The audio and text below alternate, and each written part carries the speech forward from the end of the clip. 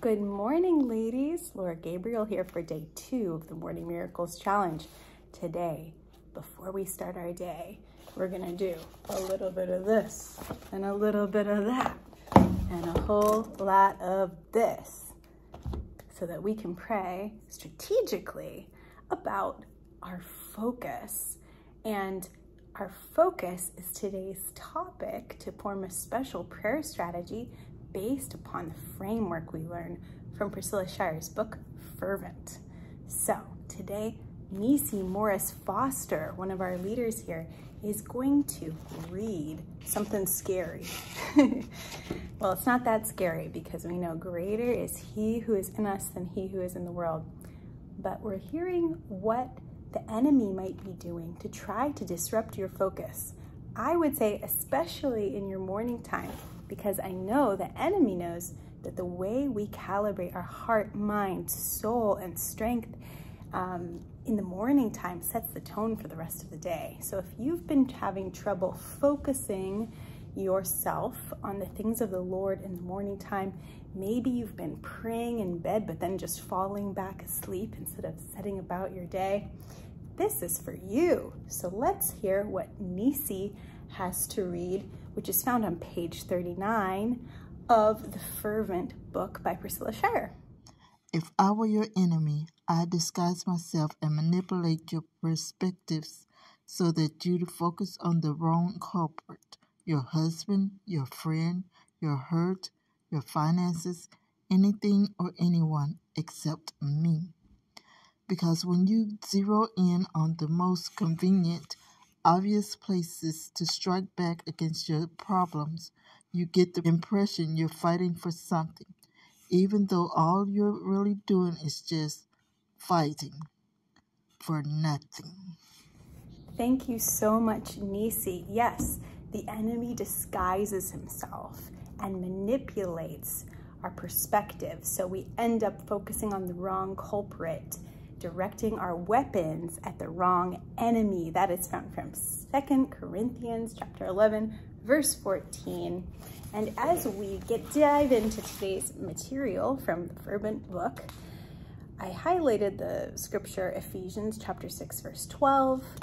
You've heard this a few times already in our time together, but for we do not wrestle against flesh and blood, but against the rulers, against the authorities, against the cosmic powers over this present darkness, against the spiritual forces of evil in the heavenly places.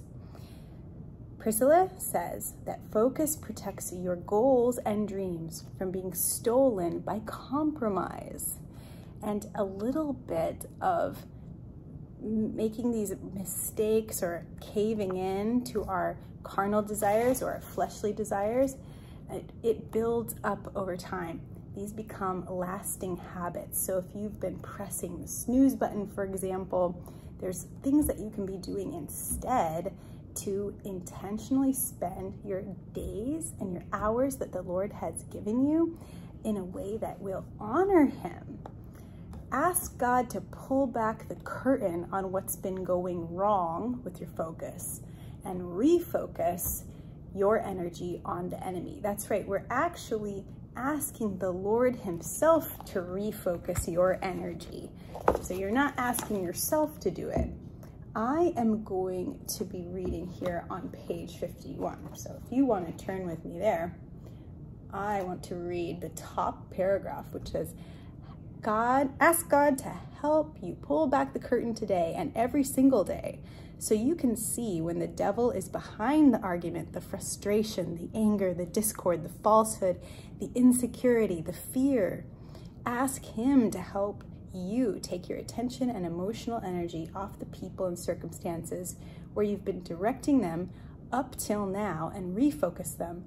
Let verses like these be your guide as you write.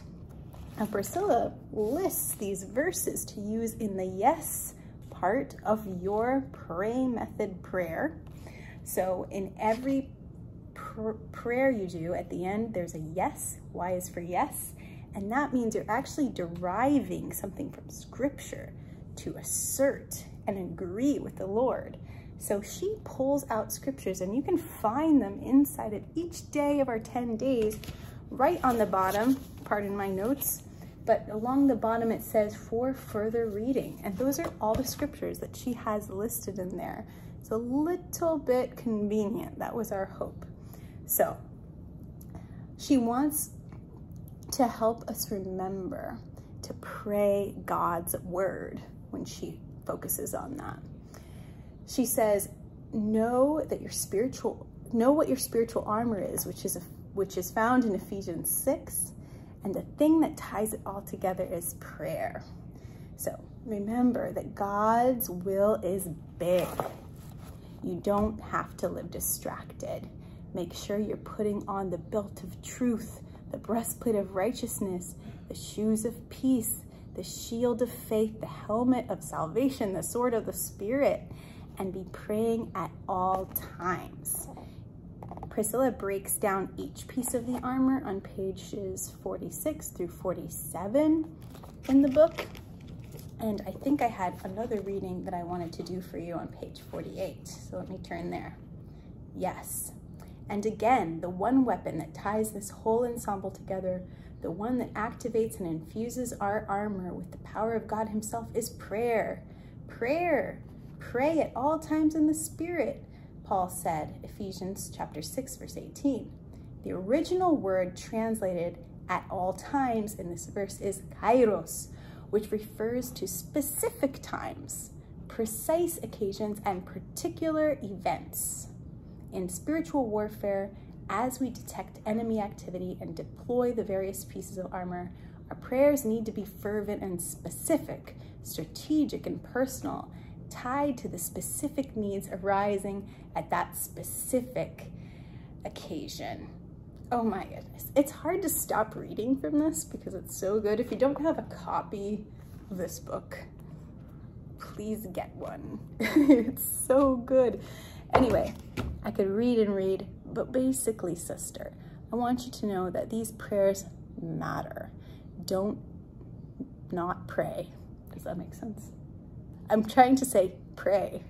Don't just write down the prayers in your journal, pray them to the Lord. Don't just write the prayers down and share them with your team members. And if you choose to do so, we're not asking you to share your prayers publicly, but um, make sure you're praying your prayers to God. He is the, those are the ears that need to hear you. Those are the only ears that can do anything with those prayers okay, sister? So pray for your focus and um, you might not even realize just how off your focus may have been. And we're gonna get into some more material tomorrow about identity and it's gonna be so, so, so good. So I hope you'll join us again tomorrow. If you're on Team YouTube, I know you can't share a picture from your morning time that shows that you completed at least one of the steps of your God First morning routine, but you can share something about your morning. So tell us how it went. Use your words. That's what I say to my, my little kids all the time. Use your words. so, um, sister, use your words. Encourage one another to focus correctly on spiritual things and less emphasis on the temporal world around us. All right, sister, I really enjoyed this time with you and I hope to see you tomorrow for day three of the Morning Miracles Challenge. This is Laura Gabriel signing off.